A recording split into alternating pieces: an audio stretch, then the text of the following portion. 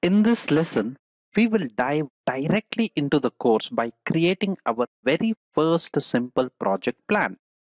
I will start by firing up Microsoft Project. You will see the splash screen briefly while the software loads up. This first screen you see now is called as the backstage and this screen will help you create a new file for your project. A few things to notice about the screens. Firstly, the screen is in two sections. On the right hand side, you will see a lot of boxes which highlight when you move the mouse over them. They are super useful templates that you can use to kickstart your project. On the left hand side of the screen, are listed recent files that have been opened earlier.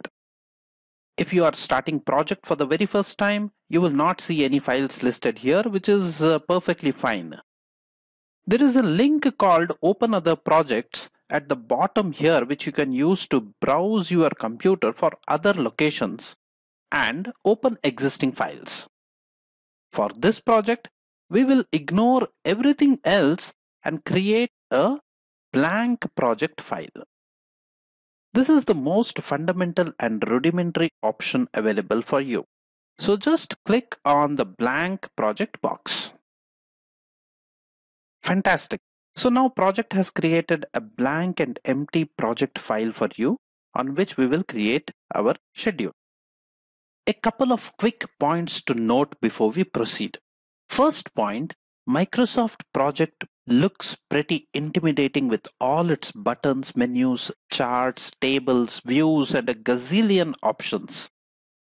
Whether you are a veteran project manager or just starting out, project can be disorienting for a new user. But nothing to fear, you will very quickly get comfortable with project. This is especially true if you also fire up your own software and follow along with me.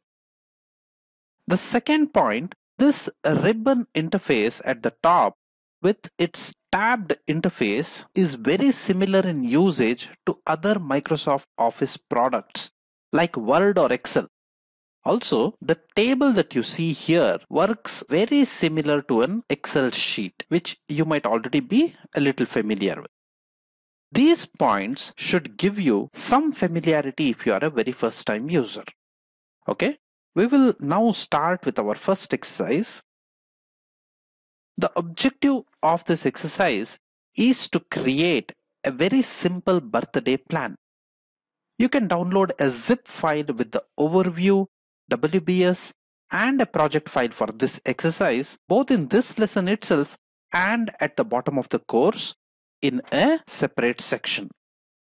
The absolute first thing that I will do before I start is to click on this button here in the status bar called new tasks manually scheduled. I will just click on it and change it over to auto scheduled. Can see now it's changed to auto scheduled.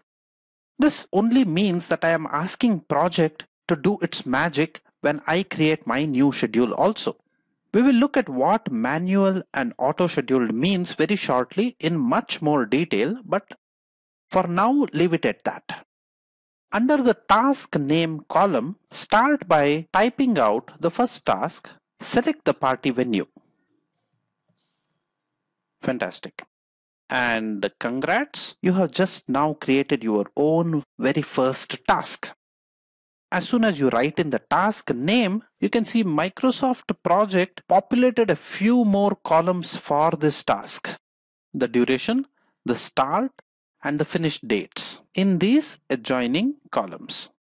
The duration you can see has defaulted to one day and the dates have defaulted to today's date.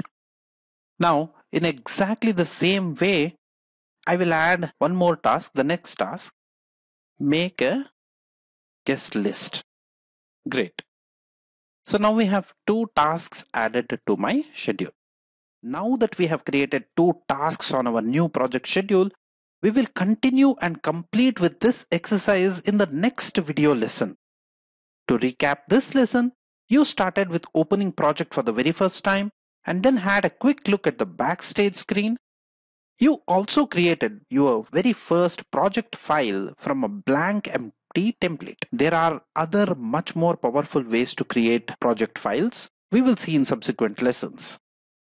In the next video, we will continue and complete with this exercise.